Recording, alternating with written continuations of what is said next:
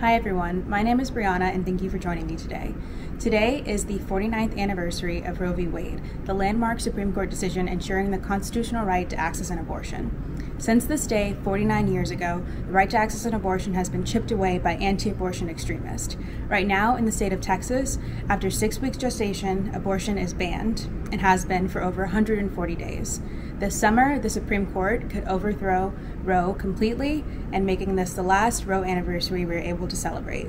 This is why we've decided to honor this day with this event. Behind me, you will see a banner that reads to all the Roes, meaning all of those who in this country who have received an abortion and will receive an abortion in their lifetime. Today, we recognize and honor those, all of those who have received abortions and uplift the voices of those who support them.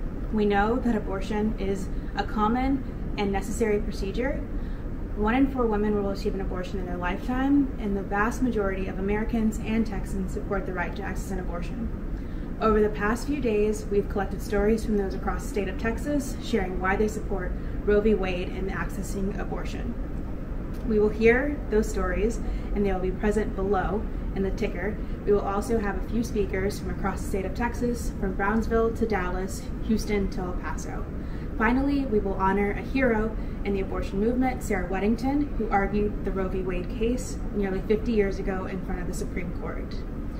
Sarah passed away this past December, and just shy of this anniversary. Hi, I'm Diana Gomez, Advocacy Director at Progress Texas, and I'm in Austin. In 2021, the Texas legislature passed a six week abortion ban, the strictest in the nation. But this ban is just the latest in a long line of attacks on abortion rights.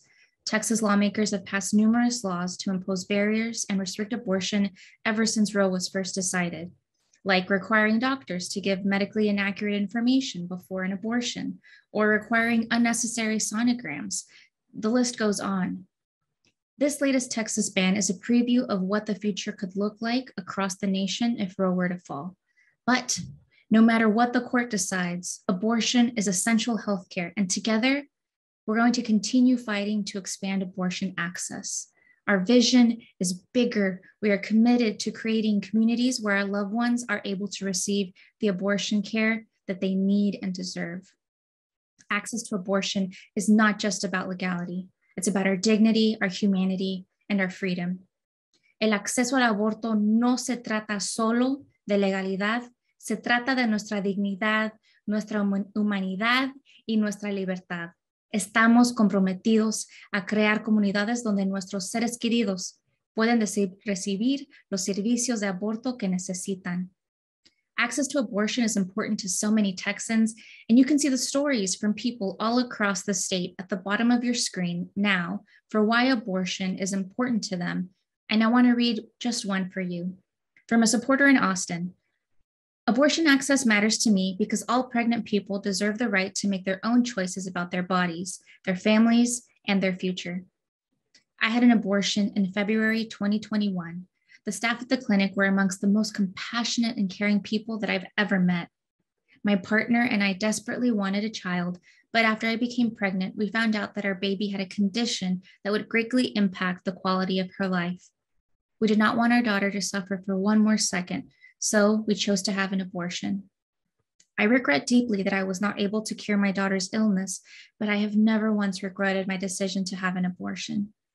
My choice to have an abortion was one made out of love for my baby. All pregnant people deserve the dignity to decide what is right for their family. We know that she is not alone.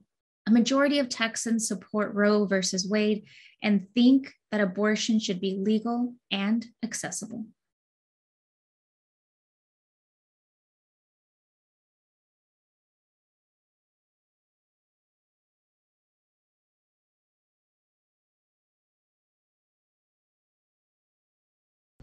Hello, my name is Barbie. My pronouns are they, them, ella, and I'm in San Antonio. Access to safe and legal abortion is a fundamental human right, not only for cis women, but also for trans, non binary folks, and anybody else that is able to carry a pregnancy regardless of gender. Access to safe and legal abortion is a critical part of achieving reproductive justice. It matters to me and my community because it means we'll have access to the quality of life that we desire and that we deserve to be our full authentic selves, physically, emotionally, and spiritually. To be safe and have bodily autonomy and live in a safe and sustainable community. And I know that other people in San Antonio agree with me. People like this supporter uh, from San Antonio who submitted this story. At 22, I found myself pregnant by a guy I barely knew and could barely provide for myself, much less a baby. When I told my boyfriend I was pregnant, he looked me straight in the eye and with a tone I'll never forget said, We're gonna get married and you're gonna have this baby. At that point, I knew I needed to get out of that relationship away from him and could not have his baby. That was 10 years ago, and to this day, I do not regret my decision. I fully believe that if I had had that guy's baby, he would have used it as a tool to manipulate and control my life.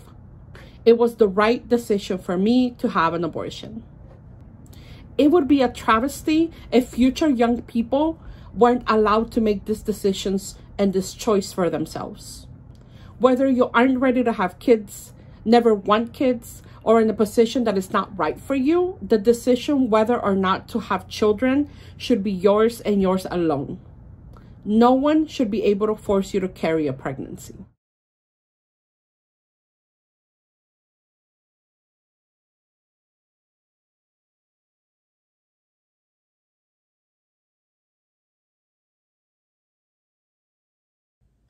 My name is Lean Garza and I'm in Brownsville.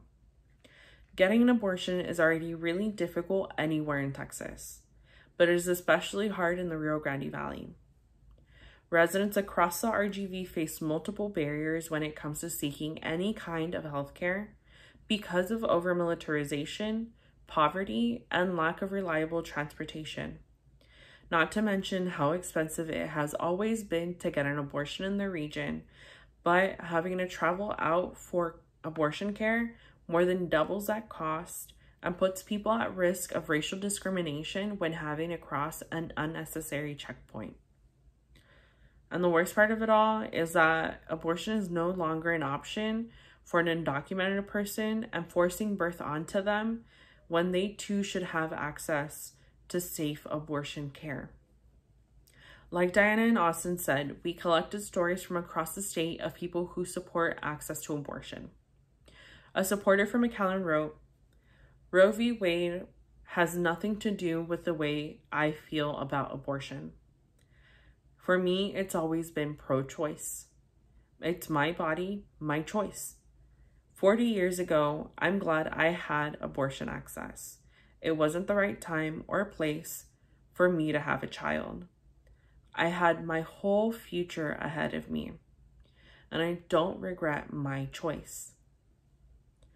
Having an abortion is a personal decision that only the person seeking care can make. We all deserve the dignity to decide whether or not to be pregnant. Anything else is a violation of our human rights.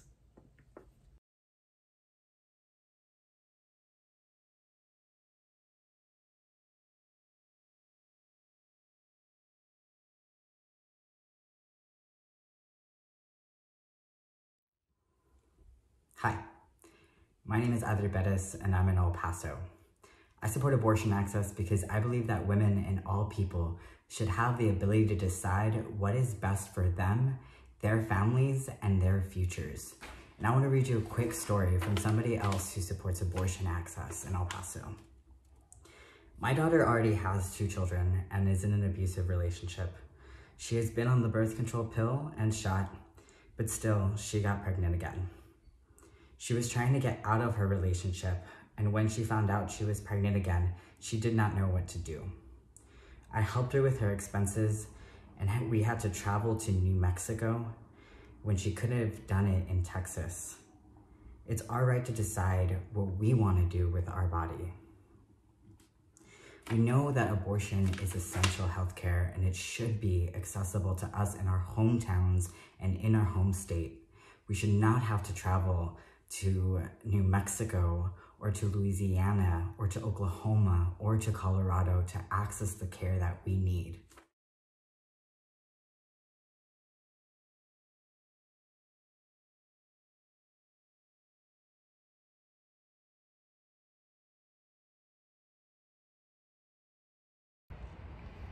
Hi, my name is Joanna and I'm from the DFW area.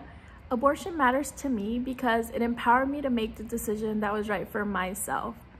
When I found out I was pregnant in 2017, I knew immediately that I wanted to have an abortion. And Roe v. Wade gave me that choice. It also gave me the opportunity to continue my education and go on to the master's program. Abortion is foundational to our social and economic equality, reproductive autonomy, and the right to determine our own futures. As the anniversary of Roe v. Wade approaches, we have to consider whether it might be its last. Everyone deserves to have a choice. And if there was ever a time to speak up for our constitutional right to abortion, it's right now. I'm Astrid Fuentes, and I'm in Dallas, Texas. It's been so inspiring to hear from so many people across the state share their stories and why abortion access and Roe v. Wade matter to them. Today, I have the honor of talking about someone who inspires me, Sarah Weddington. Sarah was a trailblazer for abortion rights in this country. Sarah became the youngest person ever to argue before the Supreme Court at just 26 when she argued Roe v. Wade. With a bold decision to fight for our rights, she changed the course of history and ensured every American had the right to access abortion. Sarah went on to be elected for three terms to the Texas House of Representatives, serving at a time when there were very few women serving in that chamber. She also served in the U.S. Department of Agriculture and was an adjunct professor at the University of Texas and a lecturer at Texas Women's University.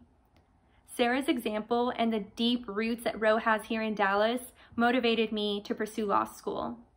Sarah inspires me daily to remain in this fight and build the future that we want.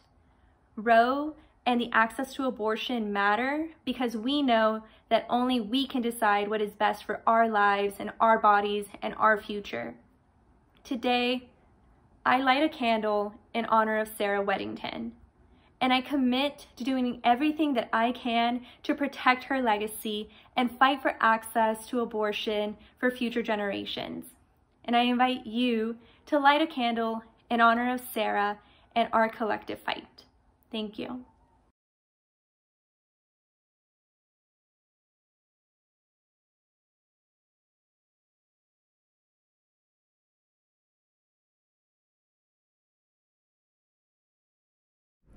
Thank you, Astrid, for that touching tribute, and thank you all for joining us on this adventure across the state of Texas. The right to bodily autonomy, autonomy is a human right that we all deserve, and we will never stop fighting. Please use the link in the chat below to share why abortion is important to you. You can also share this video with friends and family, letting them know why abortion is important to, important to you. Speaking out is the only way to end stigma and save Roe. Thank you.